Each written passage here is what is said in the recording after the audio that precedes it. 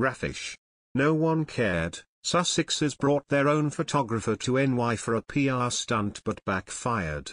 Prince Harry and Meghan Markle brought their photographers to New York when meeting with New York Mayor Bill de Blasio and Governor Kathy Hochul.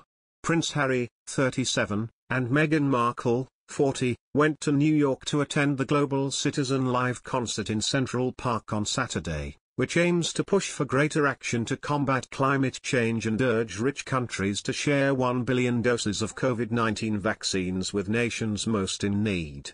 The Duke and Duchess of Sussex visited the city's memorial for the September 11, 2001, attacks on the World Trade Center. WNBC reporter Romney Smith recalled how Meghan and Harry's photographers and media were outside of the media huddle. Ms. Smith told the Royally Obsessed podcast, the five-minute queue happened four different times and then they said two minutes. At one point everyone got really, really quiet because we saw a couple of other media people and we were like, who are they and why are they in front of the line? That's when we realized it really is two minutes because this is their photographers and their media people because none of us knew them. Harry and Meghan spoke about vaccine equity with a United Nations official before they join a concert in New York set up to promote the topic.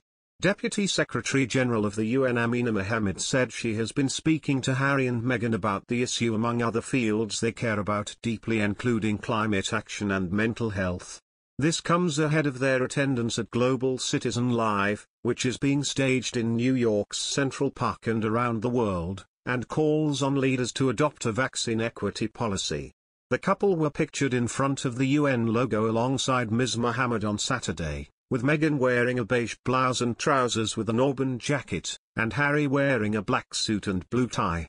Ms. Mohammed, the former Environment Minister for Nigeria, shared the picture in a tweet, saying, in conversation with the Duke and Duchess of Sussex, sharing how to engage on issues we care about deeply climate action, women's economic empowerment, mental well-being, youth engagement and vaccine equity. The UN is hosting the 76th General Assembly, which has been attended by global leaders including Prime Minister Boris Johnson. Global Citizen Live is one of several shows being held in cities from London to Lagos by the organisation Global Citizen, with artists including Ed Sheeran, Sir Elton John, Kylie Minogue, Metallica and Coldplay scheduled to perform. Harry and Meghan's visit is their first public appearance together since the birth of their daughter Lilibet in June, and their first major public trip post-Megxit. The Duke of Sussex is to return to New York to present the inaugural Intrepid Valor Awards to five service members, veterans and military families living with the invisible wounds of war. Harry, who has just carried out a trip to the city with the Duchess of Sussex, will be back on the East Coast for the Salute to Freedom Gala at the Intrepid Sea, Air and Space Museum on November 10. The event, held aboard the historic aircraft carrier Intrepid, comes the day before Armistice Day in the UK, known as Veterans Day in the US. Harry, who served in the British Army for a decade, was stripped of his honorary military roles post-Megxit. Author Duncan Larcombe claims the Sussex's heavily publicized trip to New York shows the royal feud is far from over and would have totally baffled the palace.